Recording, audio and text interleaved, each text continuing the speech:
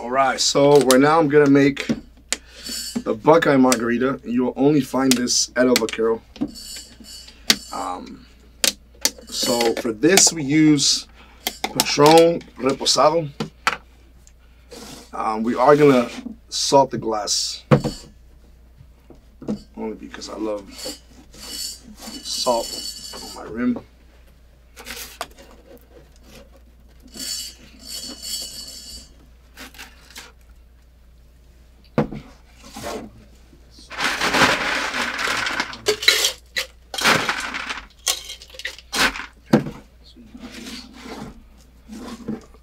We're gonna use two shots. This is how we make it. When I'm in a rush. This is how you see me make it at the restaurant. All right. So it's two full shots. You have to taste it, don't you? I mean, oh, don't tempt me. I'll taste this. All right, so that's one. That's two. And tequila's warm, so when you pour, you can hear like the ice start to break down.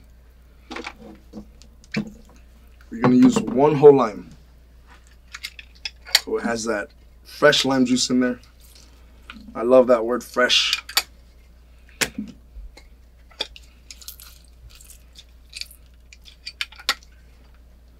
Now we use um, strawberry syrup. Our syrup is legit.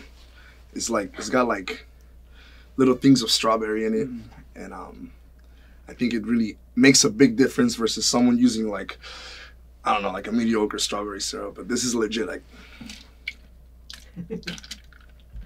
and then we use our house our house based lime, which is technically a secret, so I can't even tell you what's in it. But it's just lime based. It's sweet. If you had it without any of this, it would just taste like uh, lime water. Is what the best way that I can describe it. Yeah, in Spanish, I know it's like agua de agua de limón, which is like lime water, but you add sugar to it and it's sweet. Um, I count about six seconds when I'm pouring.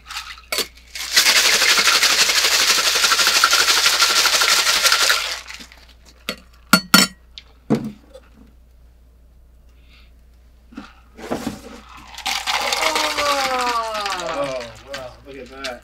Pretty. Boom. Salud.